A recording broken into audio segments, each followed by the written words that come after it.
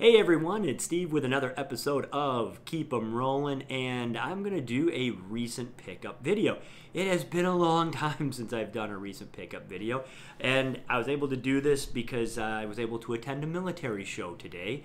It has been also a long time of buying anything. Um, in fact, even this show I didn't think was going to take place. I live in a state that uh, we've been locked down pretty hard for this uh, COVID pandemic thing. And in fact, that's why I just haven't been buying things, is because um, the places that I would normally go to, they've been uh, canceled. You know, uh, the couple big antique uh, shows that I would go to throughout the kind of spring, summer, and fall were canceled. Um, you have the gun shows canceled. Um, there's a big antique fair that takes place every like fourth Sunday throughout the spring, summer, and fall. Uh, that was canceled. Um, you have a couple big flea markets that uh, I would go to that those were canceled. Antique shops being closed, military shows being canceled, garage sales not really taking place in great quantity, uh, estate sales just not taking place. So it's been a rather dry year for um, shopping. Even like my summer vacation, usually I go with my family down to Florida and we visit uh, my parents and and I do some antiquing down there. And we were unable to make that trip this year, which was really you know interesting. You know, kind of in a sad sort of way. You know, I miss seeing my family, and I'm sure all of you have your own unique and strange stories in regards to this pandemic that's taking place. Um, this show itself, I really was not holding out high hopes it was going to take place. We're seeing some spikes here uh, with the pandemic um, in uh, my state of Michigan, and you know they're talking about locking things down again. I wouldn't be surprised if by midweek to end week this week uh, that we go back into some sort of closed uh, type of situation.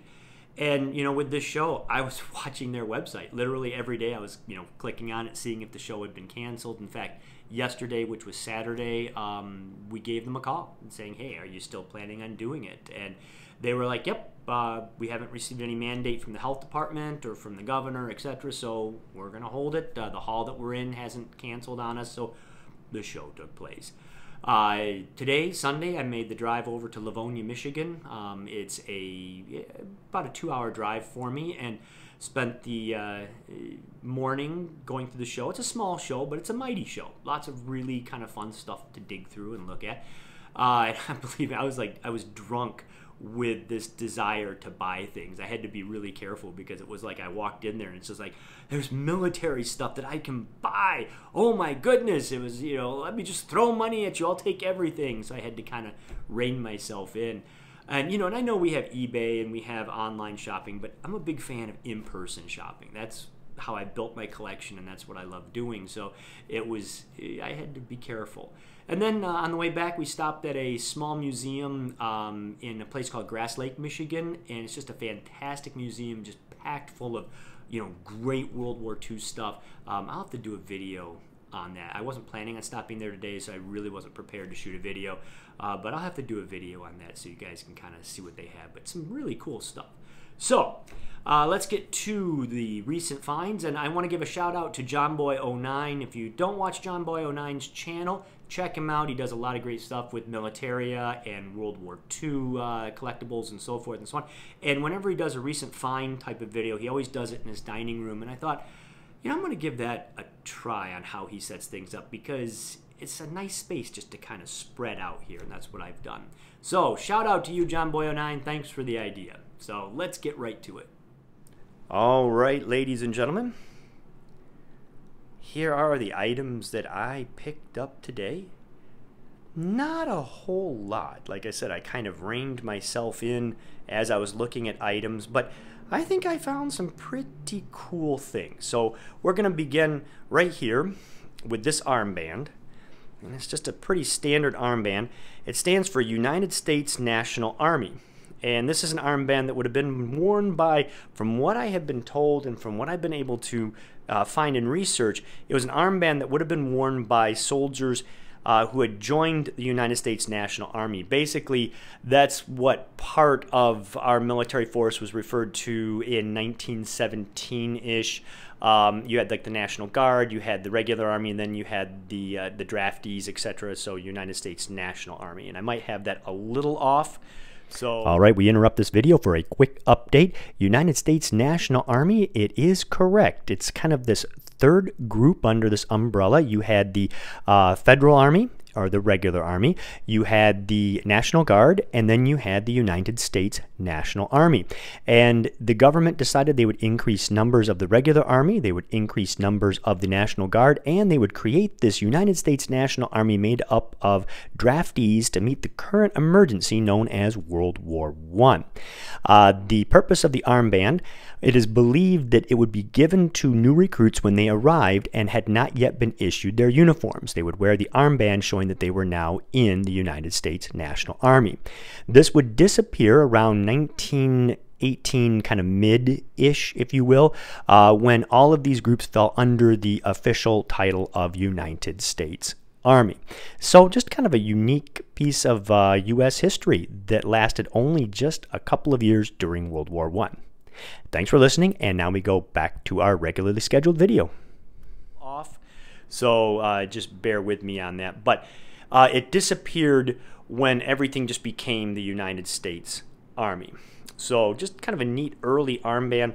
And then what I really liked about it is on the backside here. Let's see if we can get this to kind of come up on the camera. It's hard to see. Um, you're not going to be able to read it, but it does have a nice quartermaster stamp on the back side, which I really like because it kind of lends a little more authenticity to it. So just a neat piece. Um, they're out there, not in great quantity, but I like this kind of early World War I material. Moving on, we have this just salty World War I uh, uh, enlisted man's cap. I believe by looking at the material of this cap, it's a very different material from what you see in the standard Doughboy World War I overseas caps. I believe this is theater made. It was probably French made. It might be possibly German made. Hard to tell. Um, but it is a theater made cap. And I like it because the saltiness, the wear, etc., is not from, you know, improper storage or from abuse. It's from just being worn every day by the soldier. It's just it's got that look that just called out to me. Um, a couple other things I liked about it is you can see like here in the front where the soldier did some tacking to make it fit better.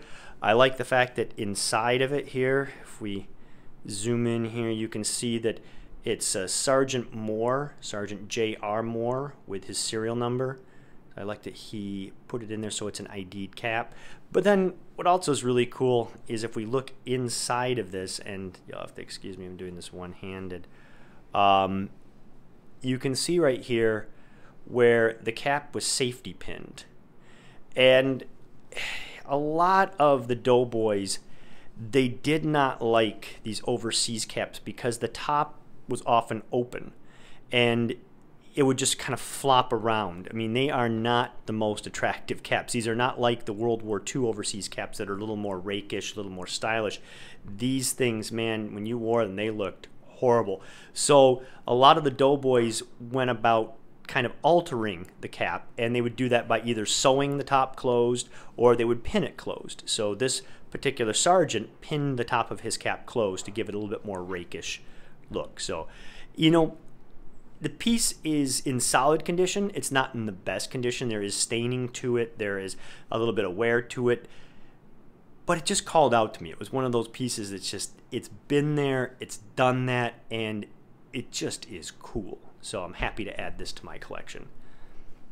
Now we'll move up the food chain here to the 1920s. And I've always wanted to own one of these. What you have here is you have, uh, it's a World War I style officer's map case, but it's during that transitional period in our country's history. So it's during that period of the 1920s. And in fact, if we flip it over here on the back side, you can see that it's got a really nice um, quartermaster stamp Jefferson Barracks, it's quartermaster corps, and it's dated 1921. You can also see we have this nice stamping here for uh, Lieutenant Rhodes and then Lisowski. So two different people use this map case. Um, it is U.S. Uh, this is in the the British style. If you look at British map cases of the time, it does look like a British map case, but this is clearly a U.S. map case. And you can see here that uh, this back flap opens. There's a pocket here to put things in. Plus, there are these pencil slots for pens and pencils, etc. And then when we flip it over to the front, it's got this uh, flap here, and then it's got this closure here. And when you open those up, this allows you to open up the case. There's a nice piece of felt in here to protect the map grid. But now you've got a map grid for your map. Um, you can use grease pencil on this or what have you. It does have a little bit of damage and it's not really damage, it's where the seam has popped. So that could be restored if desired, but um, to me it does not bother me. It's just part of the history of this piece. And then down here you also have another flip it up here, you have another snap, and by undoing this snap, it allows you then to slide your map into the grid. So it's a really neat piece from that time period uh, between the wars. And I like it because I think it will look nice on display with one of my 1917 A1 helmets. So it's got the original uh, strap on here, so it is complete. Um, and it's just a really cool piece. I've been looking one for looking for one for a while, and uh, they don't come up that often. So when I found it there, little little bit of uh, wear on it up here. There's a little bit of staining, but it's nothing that that caused me you know great concern. I like it so. Now moving into World War II, we have a small pickup here, uh, China Burma India uh, shoulder insignia. This one I like. It's got the material on the back here. Pretty much just a common piece, but I have uh, now I think about a half a dozen of these, maybe a few more. And when I find one that I don't have or a style that I don't have, I try to pick up. So hence why I purchased this one. Nice little CBI insignia. Um, we have this scary mask right here. And this is another piece I've been looking for for a while, and you don't see them out there that often at the shows. Uh, what this is, it's a United States Navy cold weather or extreme cold weather um, mask. I'm trying to get it to open up here and it's not, it's fighting me. So pretty hideous, isn't it? you got the eye holes, you've got a nose cover here, which can be snapped open. Um, you have a mouth cover here, and it, there are holes or perforations in there to breathe through, and then it also can be snapped open. Um, you have the various straps here to wear it over your head. Um, these also can be on this side sewn in, but if you come over to this side, uh, these are actually snapped on so you can adjust them and then just leave them snapped. And then when you want to put it on, just unsnap and then put it on versus having to take off or unbuckle it. Uh, and then it's got a neck guard down here so you could tuck it into your sweater, coat, whatever you were wearing. Um, we know this is World War II, we know this is Navy by the markings here on the inside. We zoom in here. Let's see. Can get that. You can see U.S. Navy contract uh, NXSX and the number. If you look up that contract number, and this is a good tip for you. If you have Navy contract numbers, you can look them up. There's a really great database on the U.S. Military Forum and all you have to do is put in uh, you know a search like uh, Navy contract number lookup, and you'll find it. Um, but you can look at that, and it gives a breakdown of the Navy contract numbers. So by looking this one up, um, I know this mask was made in mid 1943, which is really cool because when you first look at it, I mean, it looks like maybe a piece of sports equipment. It looks like something that, uh, you know, maybe was made, you know, in the 70s or the 80s. It doesn't look World War II. Um, I knew what it was the moment I saw it underneath a pile of stuff. I was like, oh, that's one of those cold weather masks. I am going to buy it. So, final thing to share with you is this uh, just standard United States Army officer's cap. Um, I picked this one up because I loved the color of the visor. It's hard to see on the camera here, but the visor is almost a brown black mix. Um, it's just beautiful. It's so rich. I thought at first it was bad aging on the visor, but then the chin strap is that same color. So just a very rich cap. Uh, it's got a beautiful um, uh, officer's eagle on here. The officer's eagle is marked on the back Amcraft, an acid test. So it is a World War II, um, you know, device. Very pretty. And then on the inside here, it's got a very nice um, maker's mark inside of it there. It's the uh, Chancellor Company, I believe, uh, Headmaster, Cason. Just a nice, um, nice marking. The only drawback to this hat, if you look here, you can see that it is missing the interior leather sweatband, unfortunately. But that does not detract from the hat, and it's just a beautiful hat. It's the Melton wool top. There are a few um, nips in it, but overall, it was unusual enough that I decided to, you know, make that leap and purchase it. And that's something I want to share with you about this show.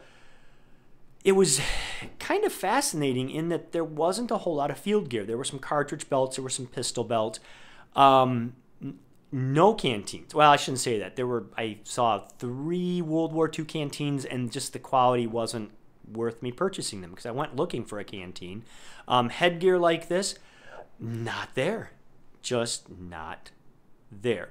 So I don't know if this type of stuff is starting to dry up or what's going on. You know, these pieces right here came from a young man who is a World War One collector, and he was just deciding to kind of um, move some pieces on because they just didn't fit in his collection anymore.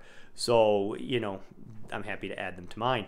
But yeah, it was strange that stuff that you used to see all the time just it just wasn't there. Um, so I don't know if that's indicative of what's you know going on. It's stuff drying up. Now, as far as cost goes, I know people like to know uh, what stuff, uh, you know, what I paid for items just to get an idea of what stuff is selling for. So I will give you a breakdown. And before I do that, I just want to remind everybody that remember what you pay for something. Don't don't get yourself caught up in the value as far as well they're selling on ebay for this or you know whatever Yes, eBay is a good tool as far as their realized auctions to give you a ballpark. So, in other words, like if this insignia right here is selling on eBay, they're averaging about $10, and you're at the show and one is selling for $50, that's just the same exact one on eBay that's selling for, you know, between $10 $15. Yeah, that kind of gives you an idea that maybe you want to wait. But I think people get so caught up in eBay and how much stuff is selling for and how much it's worth that they feel they get ripped off if they don't pay what's being, you know, realized on eBay. Buy the stuff you like. If you see something and you really like it, buy it because the other problem with eBay and using it as a comparison is stuff there's variations. Like this hat right here, I mean, I can look up overseas caps on eBay, you know, World War One overseas caps, but it's not going to give me, you know, French made with Sergeant, um, uh, I can't think of his name, Sergeant Moore's name in it. You know, if you like it, go for it. You know, have fun. So the prices I like to give you just as an example of what's being paid. So um, I spent a little more than I wanted to at uh, the show, but just to give you an idea, cap paid twenty dollars armband I paid twenty dollars just because it was unusual and I thought it was it was worth it. And the gentleman had more, but he was willing to deal. Uh, this insignia I paid ten dollars, which yeah, it's a little bit more than I like to pay for it, but you know, I mean, not much more. You know, so it was worth it. Um, well, let's skip the map case. Uh, the face mask was a great deal at ten dollars. The hat was a little more pricey. This ran thirty dollars. Um, and I thought even with the missing sweatband, it was worth it. It's once again a beautiful hat, interesting variation, and heck, the cap device on this hat is worth about mm, 20 $25. So, you know, there you go. And then the map case, that's where it got expensive. The map case was a C note. It was $100 for the map case, um, but you just don't see them. And when you look at World War II map cases, they are selling in that range of $75, you know, $50, $75. So depending on condition and such. So I didn't think it was bad to spend $100. And as I said, you just don't see them. You know, I've been looking on eBay for one like this, and they're just not there. Um, so I made that choice to pull the trigger, and it was fun. That's all that matters. So use these prices for whatever, but just remember when you're shopping, have fun. Buy the stuff that you like. So, this is Steve with Keep 'em Rolling, and we're going to end the video there. I hope to have more recent find videos. I don't know if that's going to happen anytime soon because, as I said, we look like we're going into maybe another type of lockdown situation. So, who knows where things will be, but at least I've had some fun and have been able to find some things I can add to my collection. So, on that note, everybody, this is Steve with Keep 'em Rolling, reminding all of you to please stay safe, stay strong, and keep 'em rolling.